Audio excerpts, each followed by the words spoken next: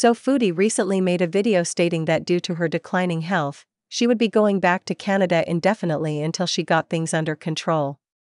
Specifically saying she would be looking into weight loss surgery, which often can take well over a year to get.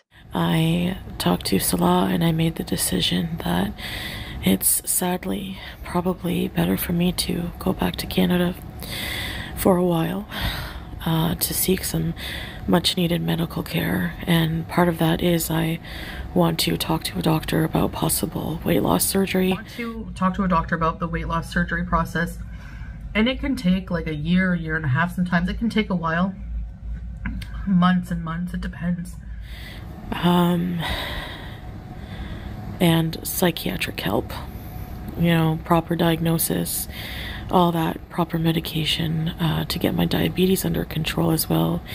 Certain medications for diabetes and also the surgery, of course, is um, covered in Canada. So, um, also, I just feel like I need family when I'm going through some of these hard times. You know, when you're sick, you always want your mom. so, but it's just a lot, and I need to be in Canada to deal with these things as I realize. So, um, I'm not sure when, but someday I will just be in Canada, and you'll see me there. Now many believe she is already either en route to Canada or even there.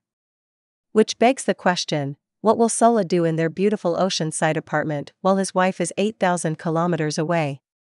Let's look at some old clips to see what Foodie believes a married man can and should be able to do while so far from his wife. He's married and has children in Turkey, anyways. But he's not going to see his family for like three years. That's really sad. Oh well. What? He doesn't do his wife, so.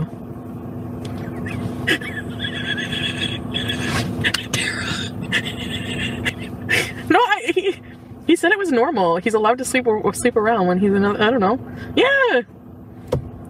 Tara, his wife and kids are in another country. It doesn't count. But I mean, it's just his wife in the other country. It's not the same. It's a, like an arranged marriage. They don't love each other. What?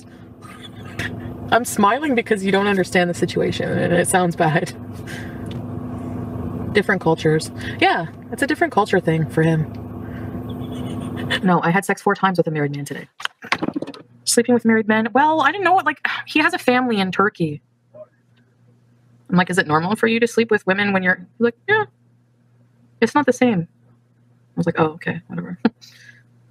he said it's okay, so but for him, he sounds like it's totally normal the way he was just talking about his family. Like it was nothing like. And then, like, I think maybe they're not together that way. I don't know. No, I don't think they're in a happy marriage or something. Not in a happy marriage? Hmm, sounds familiar. He came here seeking asylum. So he had to leave his family and he needs some comfort while he's here. It's true. He needs some help. Besides which, we don't even know their relationship at all. He didn't like he also made it seem like they were separated or they weren't they never had sex. Because I was like when I said sex and then wife he's like no no no sex no sex. So we don't know their fucking arrangement so don't call me a fucking bitch and come at me sideways. Fuck you you're a bitch get out of here. It's funny because the same could be said about her and Salah's relationship. We don't know Ren the situation. We don't know. He probably isn't like with her I don't know and like so it was really broken the way he was explaining to me so I didn't really fucking understand what he meant like I got the feeling like he wasn't like in love with her or he wasn't with her or like I hope his wife starts a channel.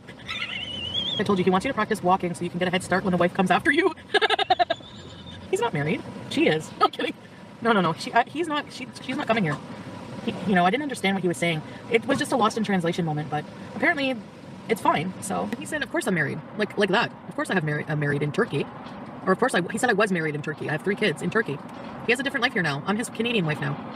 Um, his wife is not coming to Canada, so like at all. And so yeah, so he's looking for love here. So I'm not a homewrecker because he's not with her. Like they're not together. But he said it was like basically like a loveless. I really, really think it's okay. I don't think, you know, we're doing anything immoral. I don't know if you're having a bad day, Holly, but I don't really give a shit because you didn't hear me just explain for 20 fucking minutes about the situation. No, I don't care because I'm not doing anything wrong. His wife is 8,000 kilometers away and it was an arranged marriage that they don't love each other. He's here looking for another girlfriend. And if it's lies, I don't know it, so who cares? Hmm, I wonder if Foodie will keep the same energy about her married husband now that she's about to be 8,000 kilometers away from him. As someone who talks about believing in karma, she'd better watch out. And we love that the most for her. I kissed Natalie's balls.